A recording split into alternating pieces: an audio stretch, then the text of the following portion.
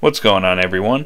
This is Mitchel Mander here, and welcome to another review of the Boruto anime. Today we're going to be covering episode 183, which involves the return of Sumire, our queen in the Boruto series. Anyways, how was the episode? Well, before we get on to the review, I just want to say, if you like this type of content and you're new to the channel, be sure to like, subscribe, and hit that notification bell. Anyways, let's get on to that review, shall we? Now, just like with last week's episode review, um, this is another um, adaptation of a manga chapter, and it adapts it pretty well for the most part while making changes where it's necessary.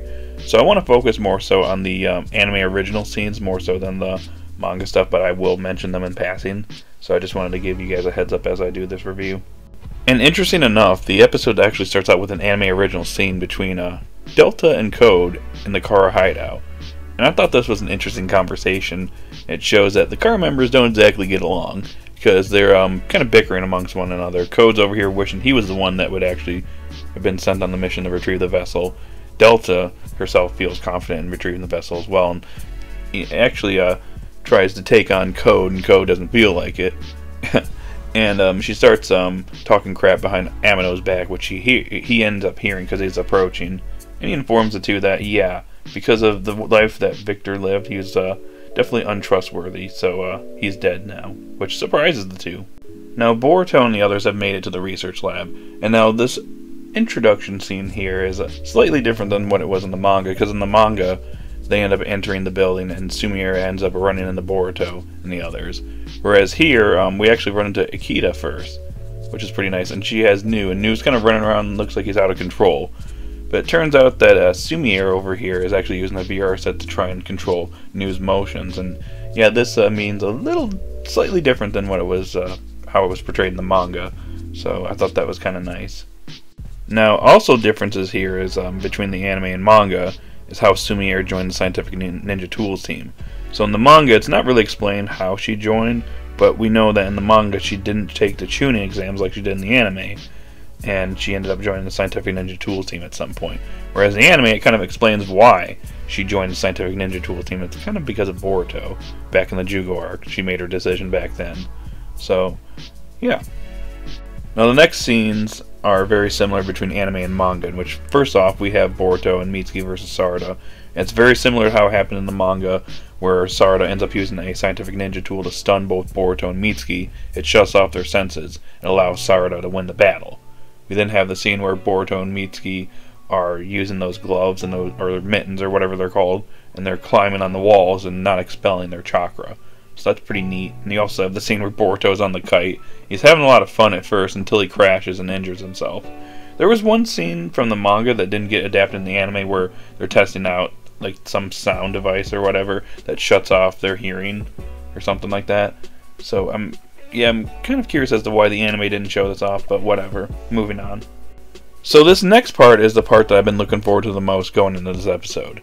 And it's the moment between Boruto and Sumire, which is a very nice scene, and yes, the Bor-Sumi ship intensifies here. Which, I actually really like what the anime did here. So, the beginning part is very similar, in which Sumire actually applies that spray to Boruto's cheek and it heals his injury. But what I like here is the anime goes the extra mile. So Sumire and, and Boruto's conversation is expanded a little bit, in which Sumire actually tells Boruto that she admires him because he's not following in the same footsteps as his father. Boruto over here has been bad mouthing the scientific ninja tools the entire episode and the previous episode as well. So he's he's shown clearly that he's not fond of scientific ninja tools. However, one thing I thought was interesting here is that Boruto actually apologizes to Sumire because she's part of the scientific ninja tools team, which I think is uh, pretty interesting that Boruto would do this. Like he's not really showing respect for the scientific ninja tools to anyone else, but when it comes to Sumire, who's part of the team, he's actually apologizing for his behavior. So I thought that was interesting. But um, Sumire, you know, she's like, no, don't worry about it. I understand why you don't like them. She knows that he cheated in Chunin exam, so she understands why he would hate um, scientific ninja tools. And she actually mentions here that yeah, people you know are uneasy about things they don't understand, but when it comes to me and my power with Nue, you know we're we're trying to figure out how to control ourselves. And you know, you and Miss Akita are the ones that actually accepted us for who we are. So yeah, I thought that was actually a really nice scene, and I like the fact that the anime did this. They did take away the part where Boruto asks um, if uh, she trusts Katasuke, but I'm fine with it because I thought this scene was really well done in the anime. I also want to mention really quickly here is that Sumire actually mentions that she's actually being transferred over to the main headquarters for the Scientific Ninja Tools team, so she'll be assisting Dr. Katasuke going forward, which actually ties into certain events in the manga.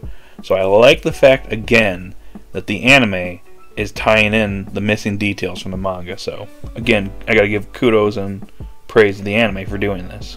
We then have the scene with uh, Chamaru showing up. Yes, Chamaru, dog with the missing hind leg. Poor doggo. But anyways, this scene is pretty much the same as from anime to manga, so I'm not to really talk about it here. But I just want to mention the doggo here because, um, yes, this is a this is a good boy, and he deserves all the love and praise for um, what he went through in his mission and losing his hind leg. So I just want to mention that. Now the scene where Boruto gets the chakra blade is actually altered in the anime version because in the manga version he's still on the couch with Sumire, and I don't think Sarada and Mitsuki are present. But Boruto standing up and Sarada and Mitsuki are here. He gets the chakra blade, and he ends up uh, realizing that, uh, yeah, it drains your chakra pretty fast. So at the moment, you can only use it, you know, in spurts. But it, you know, it's gonna definitely come in handy sometime in the future, in the near future, I should say. But um, one thing you see here is that Boruto, he's slowly appreciating the scientific ninja tools, and he's realizing that you know, hey, it just depends on how you use it, and not you know, not being used like he did in Chunin exams where he's using it to cheat. So uh, Boruto says here again, he says this in the manga version, but he says here, you know, hey, Dr. Katasuke, that uh, prosthetic arm is a precious uh, hand that protects the village, right? Well, could you make me something even cooler than this in the future? It shows that, um, yeah, he's actually coming around and actually starting to respect Dr. Katasuke again, which uh, Dr. Katasuke actually ends up appreciating this. But Boruto ends up getting a call from his father, and more on that in a second. So we get another anime original scene with uh, Code and Delta here, and Amado is performing maintenance on them. And one thing that's interesting here is uh, Code over here is the one that wishes he could have killed Victor instead of Kashin Koji. And uh, also, Code learns that uh, the vessels in Phase 3 and comes to the conclusion that you know, Victor's words, or his last words about how something was sabotaged, that, hey, maybe one of the inners is actually plotting to take the vessel for themselves, now the vessel's in phase three. And the one thing that's interesting here is, um, they wonder if it's either, Ko- they come to the conclusion it's either Koji or Boro. And Delta's over here like, yeah, Boro probably is dead just like Victor. And then Boro just transports out of nowhere. He's like, haha, do you think anybody could kill me? Well, um, you, you might not want to say that, Boro. Um, I'm not going to spoil, but, um, yeah, I, I I wouldn't say something like that if I were you. but anyways, um, he brags over here. He's just laughing. He's like, "Yeah, whatever. I should have been the one that was sent to retrieve the vessel," and he disappears off. So yeah. we shift back over to Boruto, and it basically follows how it went in the manga, where Naruto gives Boruto Sarada and Mitsuki their new mission to abort their current mission and take on the new mission of assisting Konohamaru and Mugino because communications were shut off and something's going on. And Naruto over here is actually worried that Kara is involved because, uh, yeah, that blimp went undetected on Konohamaru's radar, so something's up. The episode ends with yet another anime original scene with Amado and Jigen, in which Amado tells Jigen, yes, I'm going to find who the traitor is, and Code's uh, hiding behind the corner, seemingly plotting something and as we see in the preview, it seemingly tries to attack Jigen. I wonder what that's about. I guess we'll find out with the next episode. So once again, the anime has done a great job adapting a manga chapter, in this case chapter 18. And so far this arc, they've been doing a fantastic job adapting this arc, filling in the missing details and fleshing out the story by adding anime original scenes that make things, you know, a lot more entertaining and it fills in a lot of gaps in the story. But I have to say, my favorite thing about this episode, besides the Boruto and Sumire interaction moments, was definitely the Kara members um interacting and bantering with one another because I think that's becoming like my favorite thing so far with the anime original scenes in this arc. It is fleshing out Kara so well, and it's doing a far better job than the manga did. Like in the manga, they were definitely kept you know in the dark because they're a mysterious organization at the time, which is not a bad thing. But at the same time, you don't really get to know who these characters are like and what their personalities are like. So when they show up in the manga, it's like, okay, why do I care for this character? Well, what the anime is doing here is it's showing off these characters, it's showing off how they're like, how they interact with other people, and it's doing it in a way that I'm actually really liking, especially Code. We get to see more of Code's personality, you know, fleshed out in this episode, along with Boro, who shows up for a brief moment. And just that brief moment, you know, I actually really enjoyed his character and I'm hoping that we get to see further interactions in the future because, yeah, I'm not. When Boro shows up in the manga, I'm not really the biggest fan of this dude, so I like the fact that the anime added this scene here because it, you know, it gives this character some justice. Alrighty, guys, that's really all I got for this episode review. So again, another good adaptation of a manga chapter. And also, we had some good interactions in this chapter between Boruto and Sumire, you know, the inner members of Kara. All the stuff that was added in here was all really nice. So I'm going to give this episode a 9 out of 10. So guys, in the comment section down below, let me know what you thought of this episode.